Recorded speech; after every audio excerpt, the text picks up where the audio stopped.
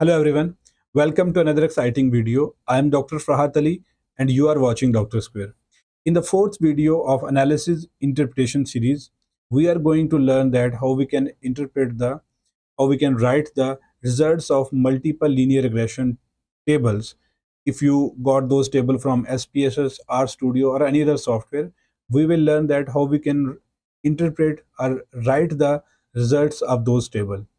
If you are new to our channel, please do not forget to subscribe the channel. So let's start. So as you can see on the screen, here is multiple linear regression. Multiple linear regression is applied when we have multiple independent variables and one dependent variable.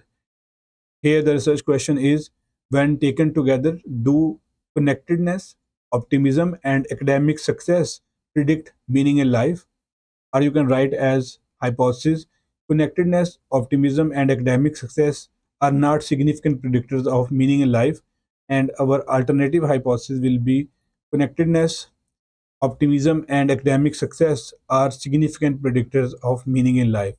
Please keep in mind that we normally do not write null hypothesis in our thesis or dissertation or in the research paper. We usually report the our uh, alternative hypothesis in all these situations.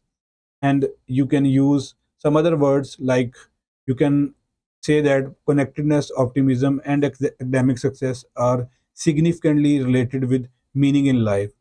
Most of the paper do not the word use the word of predictors. So you can see your field and use the word accordingly. Here we have model summary table ANOVA table and coefficient table. Let's start with the model summary table. In model summary table as you can see two values are highlighted. One is R square value and second adjusted R square value.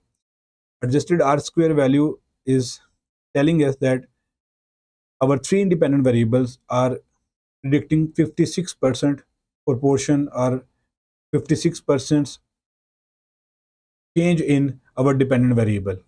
So if you see R square value is a kind of exaggerated value and it's telling us that our three independent variables are creating a change of 0.60 or 60% change in our dependent variable. It means that if you have connectedness in your life, if you have optimism, if you have academic success, you will have 60% meaning in your life. If you see the ANOVA table, this table tells us that whether our model, the model we have made with three independent and one DV is significant or not. We are talking about the model here, not the our hypothesis, whether our null or alternative hypothesis is accepted or not. And in the third table, coefficient table, we have to see that which of our independent variable has more weight and uh, which is predicting more to the dependent variable. As you can see, the beta weights here connectedness has 0.33 as you can say 0.34 value and uh, optimism had 0.47 and success has 0.18 value.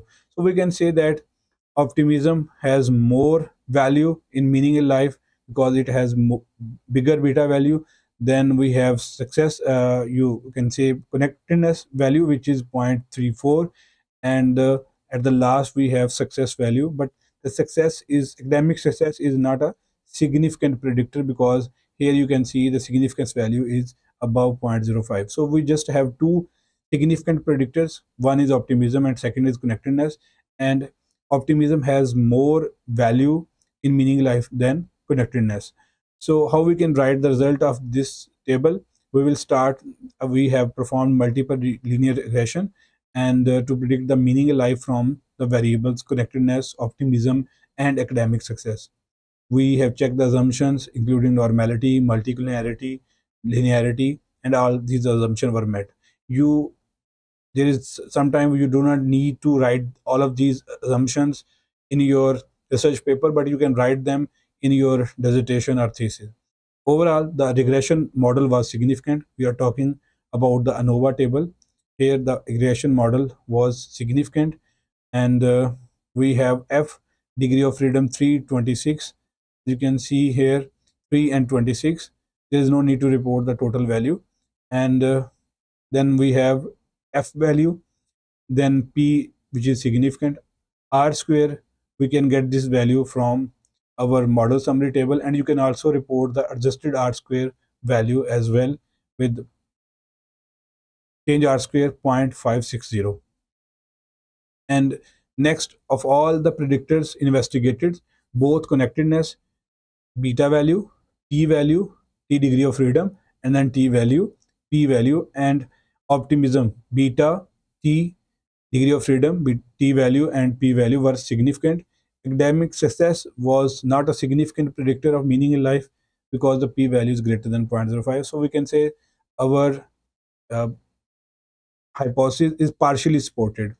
And if you have multiple hypotheses like if you have made like uh, connectedness is a significant predictor optimism is, is a significant predictor and academic success is a significant predictor. Then you have three separate uh, hypotheses.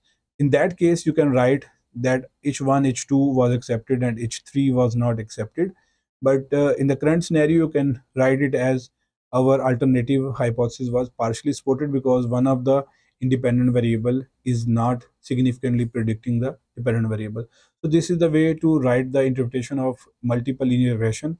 I hope you have liked the video. Please do not forget to share and subscribe the channel. Thank you for watching. Bye.